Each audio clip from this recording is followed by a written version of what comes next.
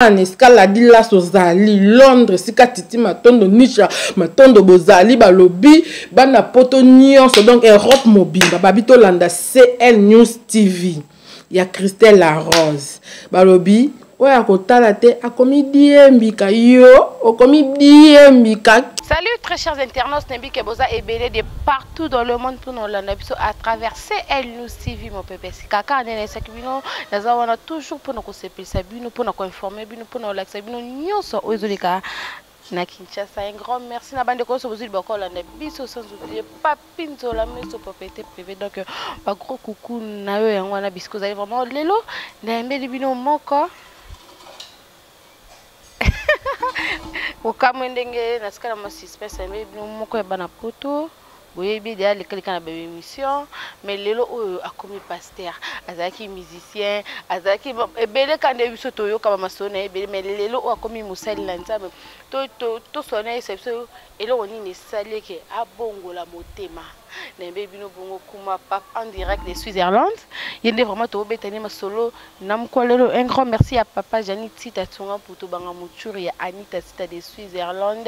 Eh, moninga ya bato ya Jean Marc Nzita mwana matete ya solo na kati ya ba Suisse. Un grand merci. Kande na loba so na pesi eh, Janit Sita na lekaka vraiment na kuma pape mais lelo siko kuma pape ya pembeni na nga donc eh, un grand merci à mère Eve babi made in Congo.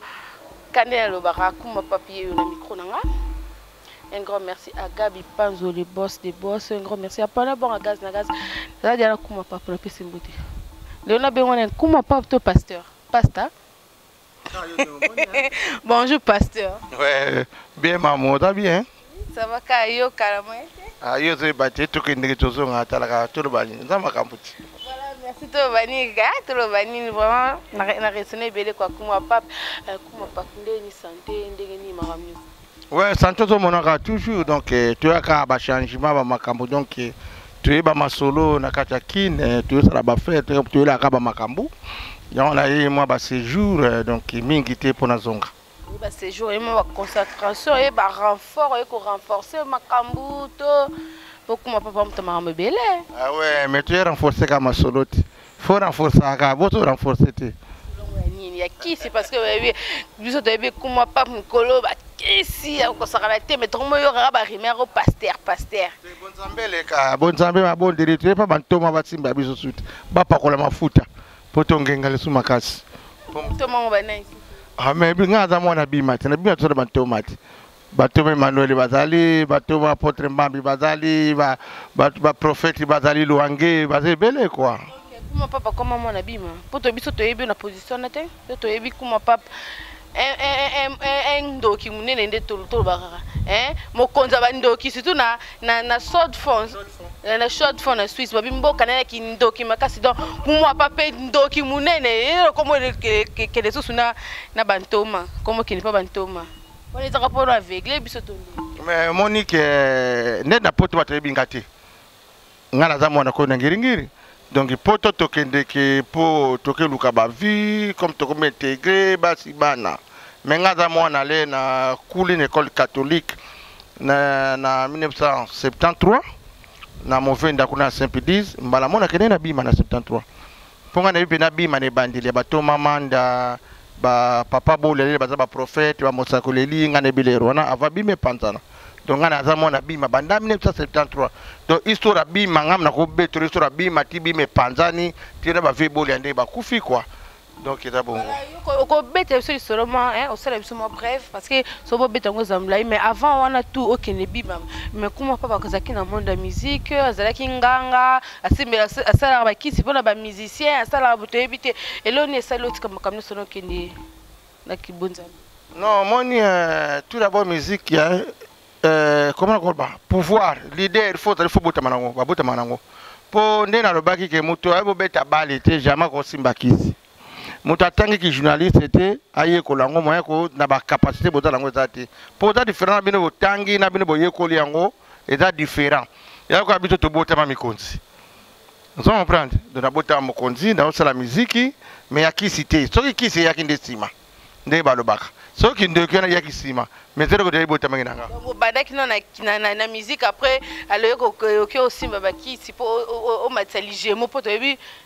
ligemo nde yo nde moto ozalaki loka donc moto banda osimba ligemo mais oui mais yeba te mamuti fo protection ezala soza na protection te ya tabino ta soza na protection te jour un jour doit mbaso lelia biso tona protection ya Jésus Christ de Nazareth et Glody Diasuka biso toza na Jésus Christ de Nazareth donc protection ka ye ne protecteur na biso ah, mais oui mais on dit frère ba que Jésus aza Satan pas ça poto tozo nier Satan Satan utana likolo ti ntango amakaki jesus babwakaki na se bato basalaka satan bazali nde boyebi bata miziki bata miziki boyebi basalaka jésus te mpo olobi oyo miziki profane na miziki boye bolobaka ndenge wana te kasi nde eza bongo nde bata miziki bakendaka protection bango epa satan nzompa mpo kote ya bonzambe bolingi bango te namonaki kutu awa na epai ya kofi awa asali soki saint james bamiti abetaki kuna soki banzite basoki baproblème donc bolingi te eko me micro yango katokabolaka na bango na bapasse na bamisicien na badiabulu na basatana toakala me micro oseki ya ocomprendre yango ah, c'est ça Voilà, merci à Kuma Papa. Tu peux expliquer biso non nous, expliquer biso non nous te. Parce que c'est l'on est salé que Kuma Papa loin la monde wana. moni wana ya bandoki mpo akende na bonzambe ozalaki deja na bonzambe nde olobi ntango olongwaki apres kozwa bateme na yo na 73 na saint pidis okendaki bima apres bima bu olongwe okenda na mambo ya musike tika no okende parcours ezalaki molai bangola banini banini banini eleki ebele mpo deja tosi toyambaka une fois deja osi olobaka makambo yango mais eloko nini esala esiko esali kuma pape lelo abongola motema akoma mosali na nzambe puma papa abongwami te me kumwa pape azongeli pota na bongo made na 73 omoni eh, epa nzambe oyo aye epa nzambe oyo nzambe asimi moto abotola yango aza te ata ake ndenge nini baeli donc un homme eli moponami mopakolami ata akei asilo mokaka kweyaka te donc akozonga eza lokola biso tondimela ba age lokola ba 11 ans nayebi yezu nayambi yezu na 11 ans na pousse na yango ti mwa temps molai après namoni ke boyefo nasala mpe vi na nga mpo nazalaki te mpo nakoma paster nangi na mondimi ntango namoni sikoyo edo na nga eza miziki nabandi kobeta miziki alors namoni okosakisa miziki wana bonzambe te nalobi ta sikoyo nake na kota miziki mais tokenda naso mpe église mais ntango tomoni succès mati bayeso so e mais eloko oyo tosala ifo za protege te il faut oluka protection ngai naluka nde protection mpo na koboya kisi te mais ngai naluka protection mpo na boma motu te nakendeki kozwa protection mpo epanga ezali kozwa protection moto apesaki nga protection asambelaka avant apesa nga protection asambeli nzambe ya solo to asambeli mpe banzambe ah, nga namona mpe nasambelaki nzambe ya likolo mpenza nzambe abondeli ndenge batoko babondelaka te ye danze abondeli te alobi amen amen apres abimisi babiloko na ye tondi osala batravail koma papa oyebi ke bato ya kisi bayebaka bible makasi bayeba kosambela mingi koleka bato mosusu basambelaka te ezoyebi ke mokili eza ya nzambe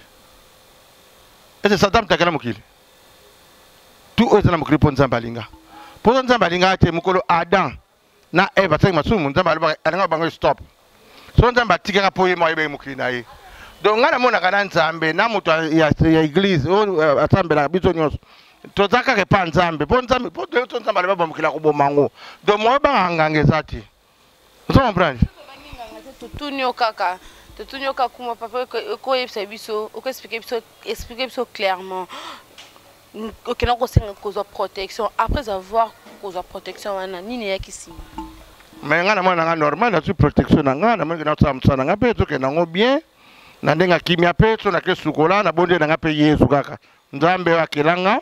malgré protection wana alimbe nazobondela nzambe nakepe na se miziki na ngai namoni mpe esimbe na ngwa protection wana esi tokoki koyeba bamusicien na biso mpo tolandaki eh, ndeko eh, confrère na biso moko ayambaki yo mpe alobelaki sur makambo ya protection tokoki koyeba bamusicien bazalaka na kisi to bazalaka na protection parce que biso toyebi bamusicien mingi tolanda moko ya animateur moko ya ex animateur moko ya quartier latin autaki kolobaka makambo ya bakisi si ya ba musicien tout tout a dévoila ke be lelo oyo aza aza na problème bazalaki menase batui bake mbeli na panzi kaka likolo ya koba makambo ya kisi ya bamusicien mais biso tolandi kuma mpapa olobi bamusicien bazalaka na kisi te bazalaka na protection explike biso nanu wana bien clairement elobi nao nini kisi te mais protection na nini po eh, nakoloba leo kisi eza mpe lokola baminganga te apesa mayele ke soki obeli okezwa traitement obiki eza kino zwa kisi te mpo obika ifo omela kisi te eza mpe ndenge biso tozalaki na banzambe ya mpungu mpo avant toyeba mpena toki na nzambe ya mpungu baotravaille bampungu ti lelo ezali bakodi ezali makambo ebele ezali ata bapaster mosusu ozomona baza na bakodi ya famille omoni ekodi ya wana ye abimi paster akomosala mpo na ngai nayebi ke bamusicien mpo azala nano musicien il faut abotama yango fo abotama yango yaka par hasard te alors ntango ekoya akoluka sikoyo azala protégé mpo bino mozomona ntango na bango nde bateatre babwakela bambasu bapapose bazwi ba avc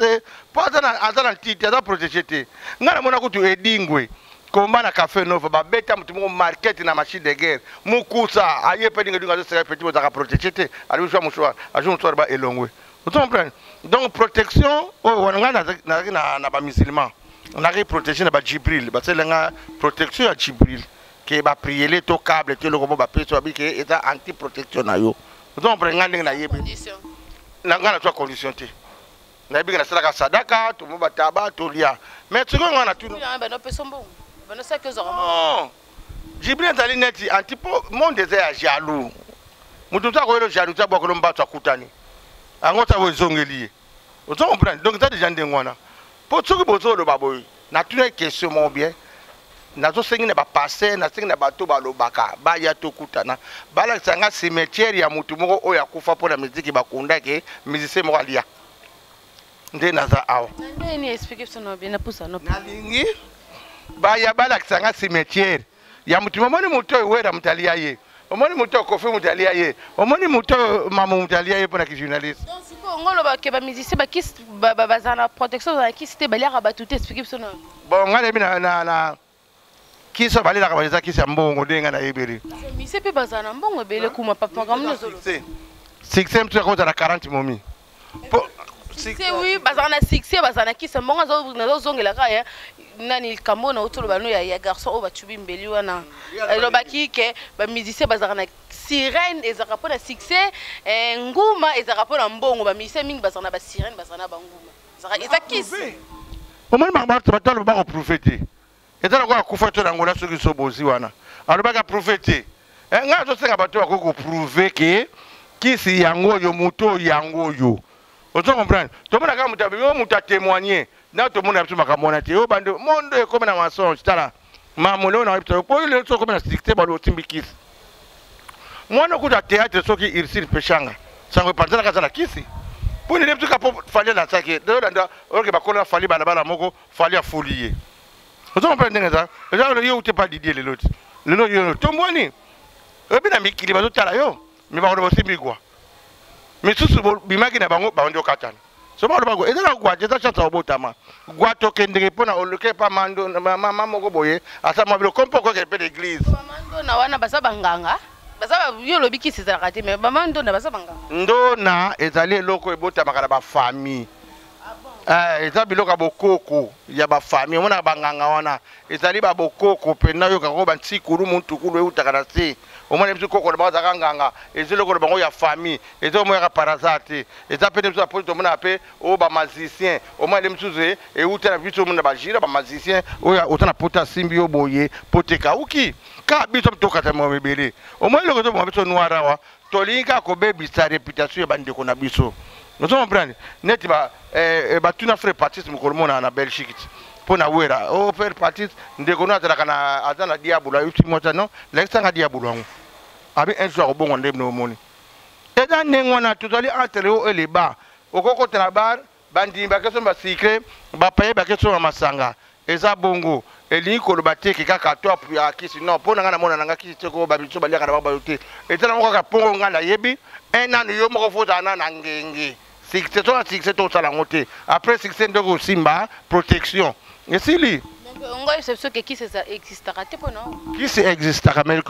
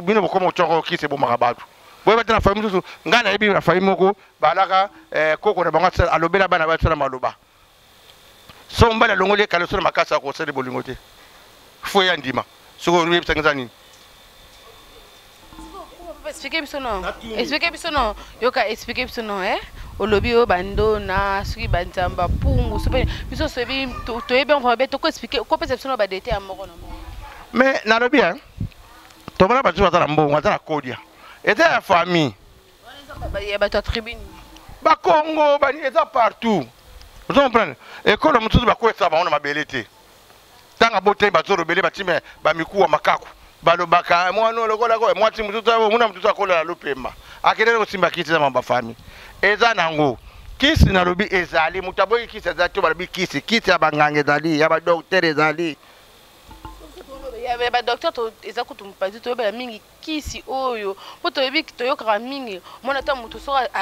surtout plus bamusicien mpo na bato toyoki mpe bango te plus mpe bamusicien biso toyokaka ke oyo nesi toyokaka na moyen natanga bamusicien a eza te mposa mpe natanga bakoma bamusicien ekoma ke baya kopoursuivre ngai ke biso toyoki ke toyebi ke bamusicien ebele bazalaka na kisi ndenge nini kuma papa oloba ke bamusicien bazalaka na kisi te soki olobi nanga kindoki sava mais kisi mpenako moto oyo azwa kisi mpo asala bango andimaka na yango te ndoki so mpo bato ebele balia bamongo ya misie soki ndoki seke bato yango bazwaka kindoki ya bamisie bamisie baza bandoki te misike eza to art moto asala art na ye ozo comprendre moto asala art na ye efo asala succès efo alela bible elobi moto efo alela motoki na ye mais pourkua kamino soko moto azwi na motoki na ye bomona ngai nasala succès ya danze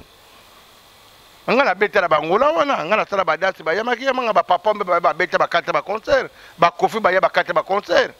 mpo na protection na wana ozalaki nango eleka donc yo se olekaki bango na protection makasi vie na nga kutu madilu madilu mpe na ya tuni misi babenga nakuta na vie madilu boyandima te nganga monene ye bazali nganga bwabanga ye nga mpo na nini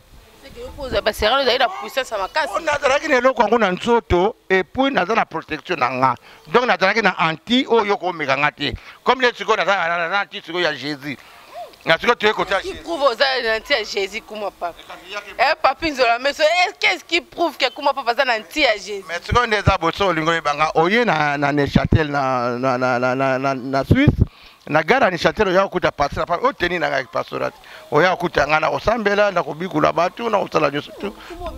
eh, ata yo na kobikula osiko na kamera me na yo napesi bino basituation molimo ya vrami te voilà kuma pape euh, merci na oh, merci vraiment kuma pape lelo pasteur des problèmes makambo vraiment pasteur kuma pape nakomona bengo ta pasteur euh, yebisa biso pesa explike biso na mwa moke bima mpo olati teni oyo teni tomona yango balata yango mm. na bima explike biso mwa moke bima olobi ke yo oyebaki apôtre bolia oyebaki kala oyebaki bima avant ekabwana explike biso na mwa moke historique oui nga nayebi bima na 1973 moto akumbanga grand nanga grand frère nanga grand pema aza kufa lelo wana tozo bazosambela na tembe na tembe nayebi te so bino na bobotami boyaki na bana mike na ba 73 na tembe na tembe kote sg ezalaki lelo place basali temple wana place bakosambela wana lero wana bakende bayolatama te chemise ya pembe na pantalon nde ngai nayebeli nomprendre nandimeli wana namona apôtre bolia eh, toma manda apôtre manda celui qui était comme le fondateur molingami na yawe nayemona vie bolia était prophète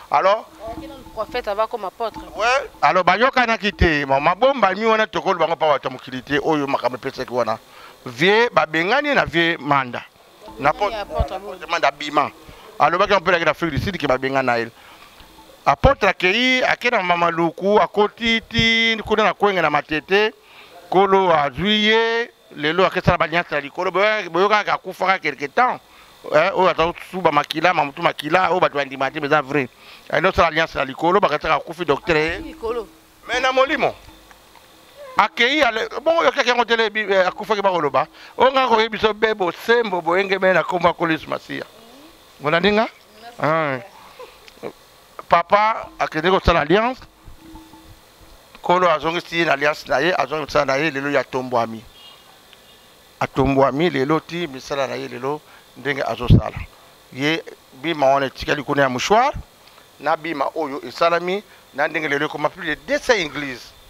namona mouchoir yoza kota bima mouchoir to za nazo kota mouchoir to bana na mouchoir mais tu tu kasi ya kombo na yezu molimo na mindo bima bima bima na kombo na yezu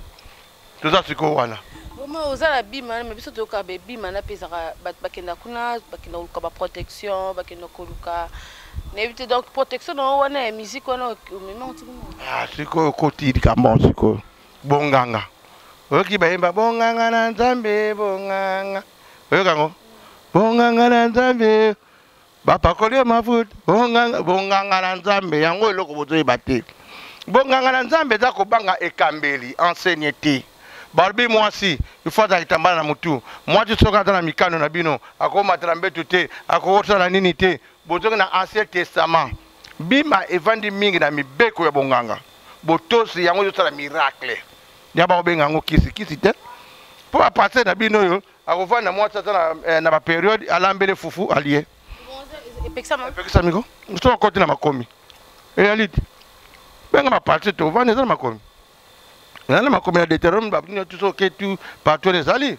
epekisami mwasi akolata pantalon te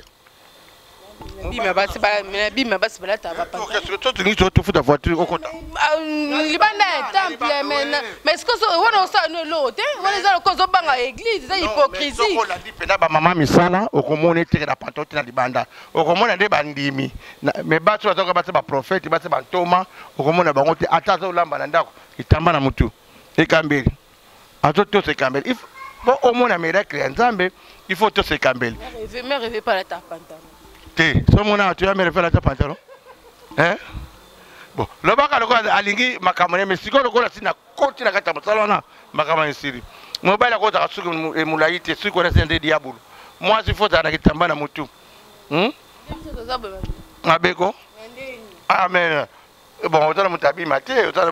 nakoki kojuge yo te mais nayebi so selo ekambeli yango omoni bima evandi mingi na kutimi ya bonzambe bonganga ya nzambe evandi wana yango ozomona misala oyo ndenge osamba na kati ya bima kutime efandi na kutime ka ndongo olobi na kutime me bato mingi omona ata asambela na eglize tele tele ana baproblème eleka bifo nakende kuna bima basokola basala nini toyebi te bino kuna bosokolaka bato bosalelaka bato bakisi bacondition eh, kumapa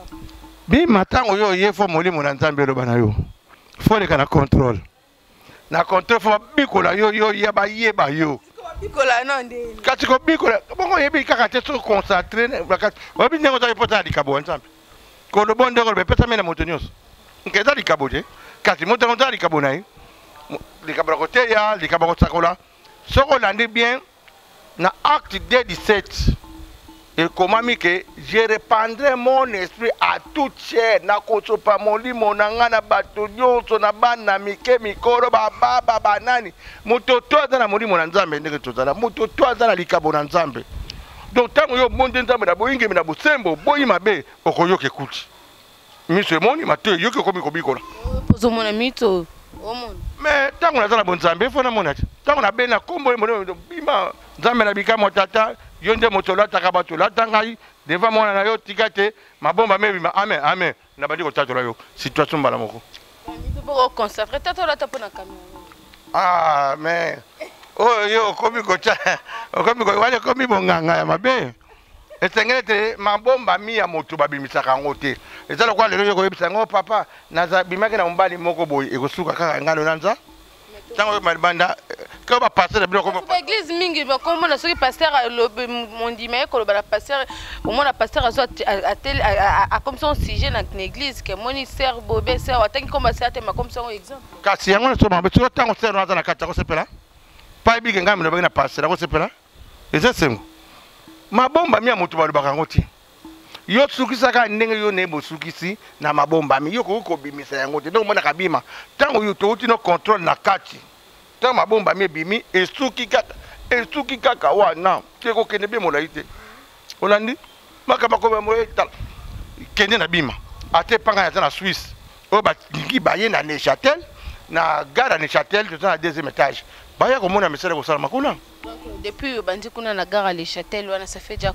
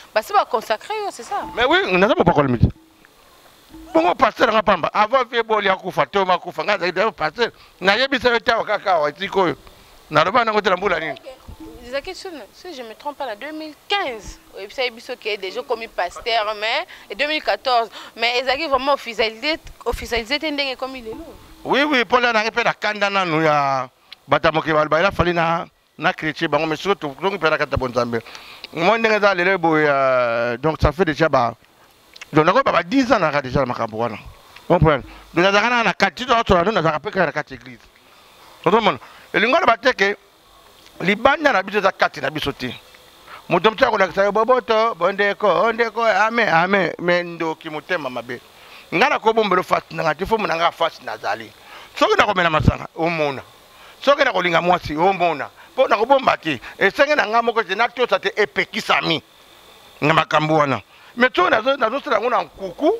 mpo nakosa bana na nzambe eza esengo te yango bapase ebele bazokosa bakobimela basi ya bato bakobebisa bitonga bakotebaka bamusicien banganga bepreve eza te moko na belgique boyokaki te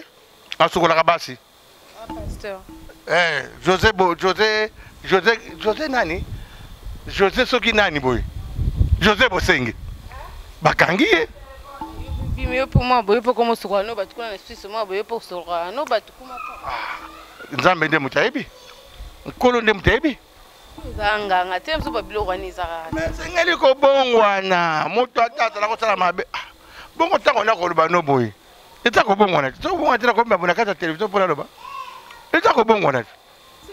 koyebisa biso eh, eloni esalaki obongwana ndenge oyo bavami foko obongwana eloni esalaki obongwana olala ekola moke otiki tomona mwa baconvenient makambo ekomi mwa makasi kuna yango esalike lelo nabongwama na ngai vraimen nakende na kibonzambe mpo naza moponami naponama uta na libuma mama na ngai ata naza kokende partout naza moto na nzambe ifo nazonga kaka na elanga na yo eza na bana na nzambe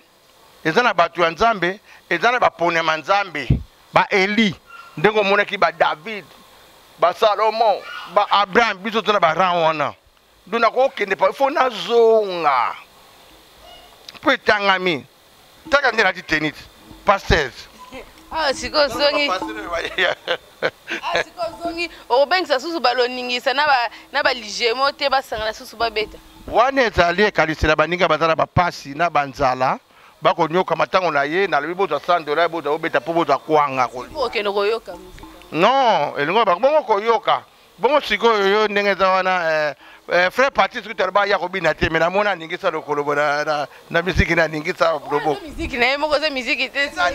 tala mama ayokaka yango ayokaka ata mati na voiture to toleka awa lelo koyoka o oh, yamado oyoki nini o oh, oyoki petio nazobeta soki tenga moyoki nini mikolo petio oyo azobeta soki nani awa eh, ah, tofandaka na bayoutube na ndako ntango otie filme kuta porno komona omona yango omona na tv otie boyo bato bazopesa na bese soza pasi mokaka miso wana lokuta ti okosako ndeko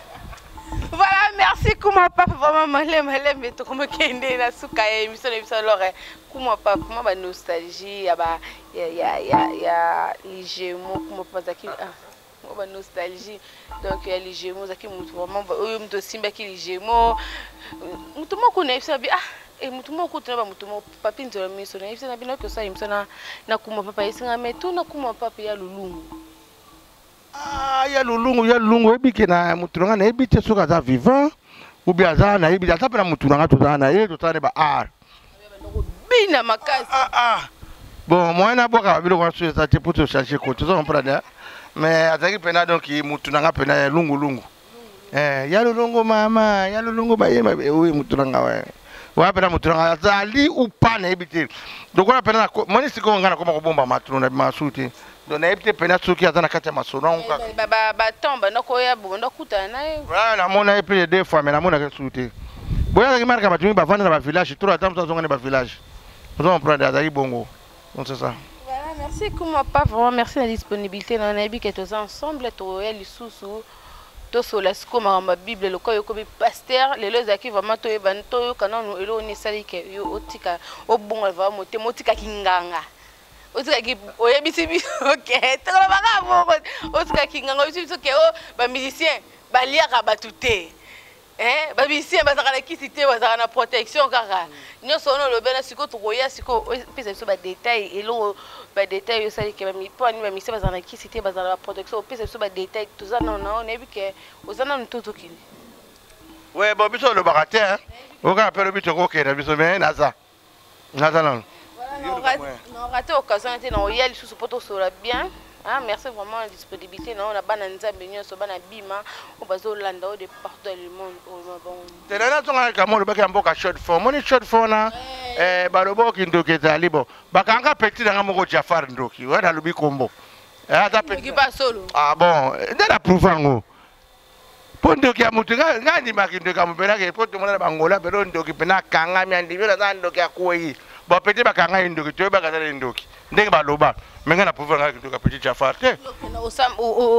obikola ye okoti na bikola ndeni petit nanga tozalaka na ye nadamaka mpe na pale na ye maka motu namonaokozala naza ndoki bolia na ye bombi kindoki ne pembeni wana sikoyo nakondima yango mpe te kanga petit ndoki oyo petit natia fo ndoki bapasele bakanga ye ndoki oyo batolo ba ndoki oyo bato ndoki me tomona na bisango te tina eza vivaka na ye yebisaka na ese kindoki ezalaka na preuve mpo kindoki eza yango eloko preuve loba mutu ye moko atatoli me soki lesi mosali na nzambe neti yo olobi ndongo obikolaka no bato okoti na baprofondeur na yo ntango nzambe ofongolo misu nde obi ntango omona kindoki te nga mpena nde naza boso ndoki ye na paye na ngai fo tatola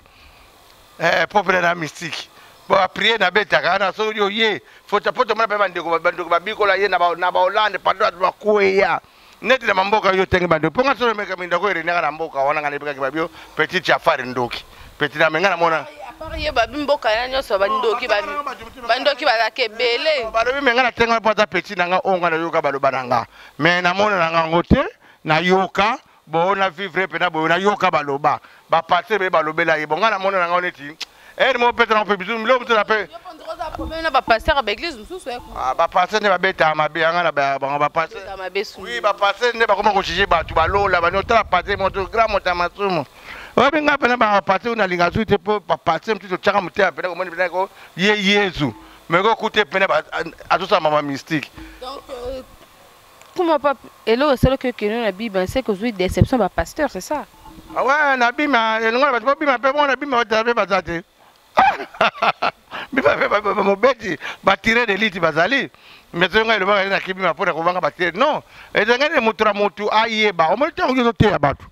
ozo lakisa bato malamu lakisa kaka malamu nde bato yo olakisa bamono na mabe moko boye oyo epesaka deception oyo biso lelo so tofandi na kati ya lilobaka mpo oza bato mo tosambelaka mpo badeception motu totuka na basali ya nzambe le toyaki na esika kiyanke akuta mpenza coup de te tomoni fo otomona meko tomona bonzambe tiaka tolwane mpo grande deception ah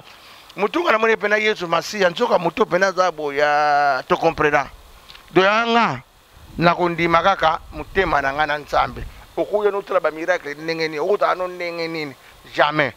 Moto ka tokondima kaka na bonzambe. Mais ba pasteur na bino pe ya poto kuna toko ba pasteur ya poto kuna pe onzali bazala makambo ebele ya kuma. Ko ba pasteur kuta kini ba diabolique ya danze yo tanga ba pasteur na mikili. Bon ya koto tanga te. poto kobama omoni poto omoni tala na likolo ya couleur nini na likolo couleur nini ezako na likolo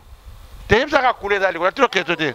eza pembe eh? eh, kuna nalanda petit ma lobi likolo na poto likolo eza ble eza nango kaka boye echange te donc makambo te eza ndenge moko o mamu mamu a pape nde omoninga a ekanisa nango te ozo comprendre nde tomona bapeta su baglodide ya suka na, na baecran dega ozo comprendre donc eza nango kaka ndenge moko différence eza nango te donc mosala nzambe bango bato balanda na bosolo eza bato bazotengama mosala nzambe ozo comprendre mpo teke na baecran mosusu bateya biso ke dime eza faux bato ya bidime eza vrai donc eza na bacentre eza boye ebele omoni ngai lena epa nzambe mpo nayebi oyo nzambe asala kati na nga so nazoloba bana mpe ezali nzambe mpo toleki na makambo ebele biso tokenda ti bacimetière kosala bacérémonie tokende baparti ebele tomona nde baloba kitikiti te biso tokende na bacérémonie toke mpena place mosusu balakisi tombo na tombo na babike non awa eza pa ya grand maître yo moto ya grand maître tokosimba te nga tuni mpo nani toleki aye pa moto ya grand maître toye pa aye yo na monde abenga ye grand maître nga nakotela de te monde wana yana toyebi biso ke kisi eza te ya protection ata banga ba kofi wana bana ngo ba guate eza lokola après ake ake luaka protection azwa succès surtout biso na na na na, na musique eza succès ba momi naza na mamu naza na glodi naza na aristile naza soki na nani ndakotala bino 25 sikoyo lelo abeta conseil ata 25 boya te boye 15 sikoyo boye na balikueshi na bino sadea kosali 30 personnes mwasali vimbi na badele bayo omoni secret ya musique sino afungola yo yango faut tala ba momi ebele pasta yango na ba biso eh ndenge on a nommé ba papa wemba le tout 60 surtout kofi yango tali na 60 momi to ba momi tous les ba ya concert wana protection na mtu singa eh, mais protection na biso tout d'abord ngai kisi ngai nayebi hein kamo ya bitumba na kisi ya ba momi oyo to tikeli ngai na mona na ngai oyo to oyo to ba ngai nayebi na ngai te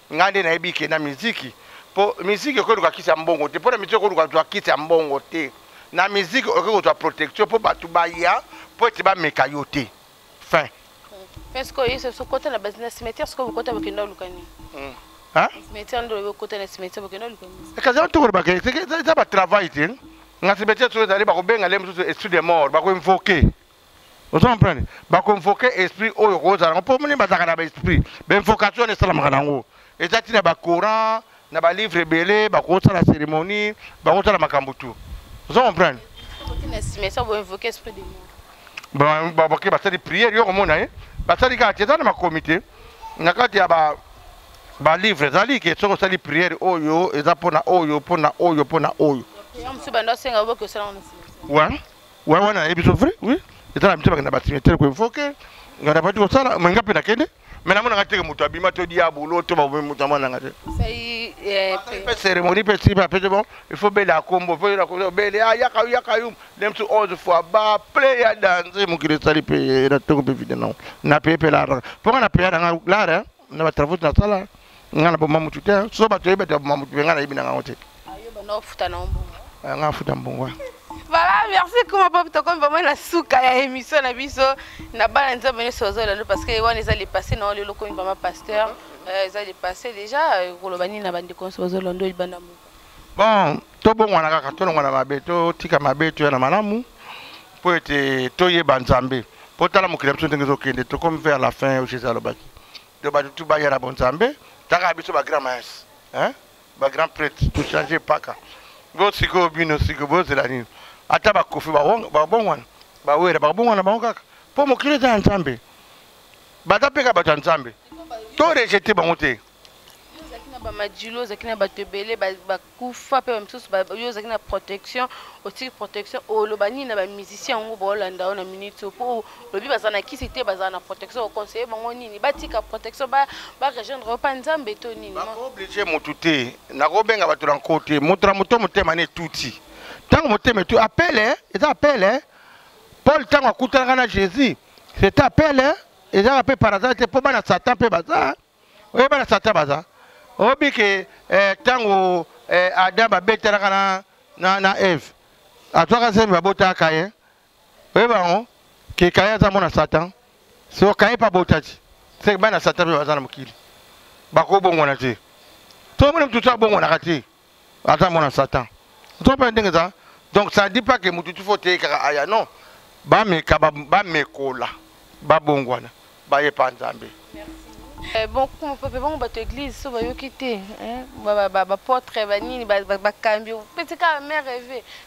lokola eza mama bonzambe pasteur oza mpe na bacollaborateur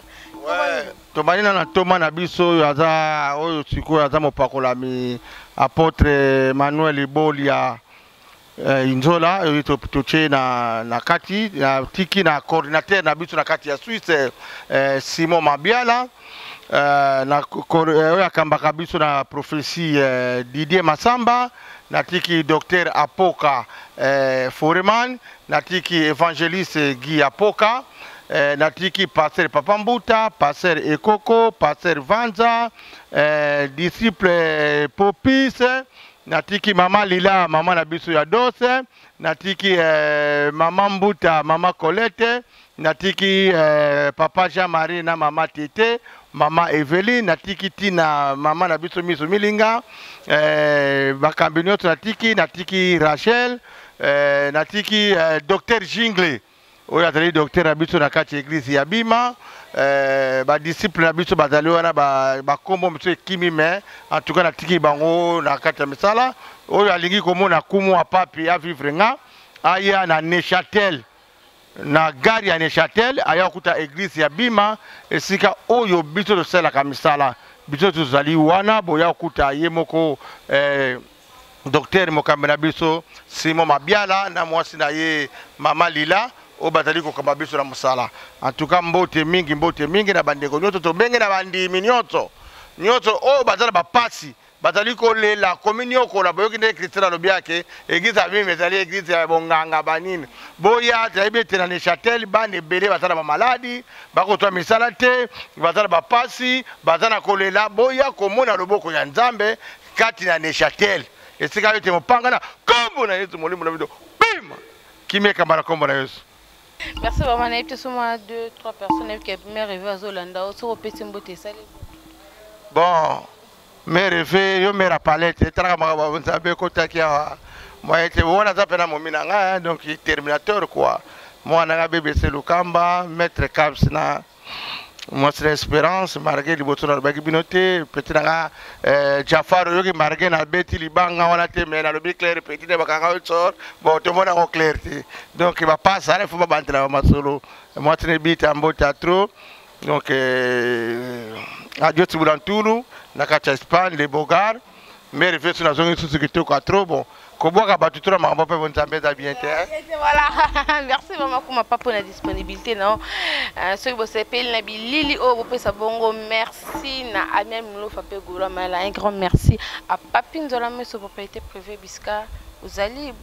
Il a dit ba réponse euh, ya Kumu à papa un grand merci à mère rêvée. Oui, merci Kumu à papa. Un grand merci encore à mère rêvée motema ya Kumu à papa lobi made in Congo. Oluko mbisa okaoka oh mungu sous tous les sortes ba mbisi ba tanga oui c'est tout tout tout tout. Donc euh, Luka mère rêvée na solo motema ya kuma papa un grand merci ya kaines lelo jojoba na kati ya lausanne mosi kitoko nabosani te eh, le boss de boss gabi panzo mokusa talo donc eh, nabosani yo te paulin bwanga gaz na gaz un bon tonton asololaka bien na kati ya suisse michel linvo le grand saudien eh, bandeko solo na biso euh, sans oublier mon vie adio diogène balobi genève mobimba eh, problème bana genève nyonso bana suisse nyonso nalingi bino mingi eh, nazongisi bakota ba france namoni bongo frida kanga bacharme makopa yo oyebi eh, francis kala bourgeoise de longue jambe eh, mwasi ya molai donc mwasi kitoko na kati ya bafrance oyo na baparis donc bako kuku na yo bako kuku na bandeko nyonso cilangandu ma grande sœur nabosani te na bandeko nyonso balingaka yango baza libanda mboka mpe awa na kinshasa braza partout rdc mobimba donc globe terrestre mpe mobimba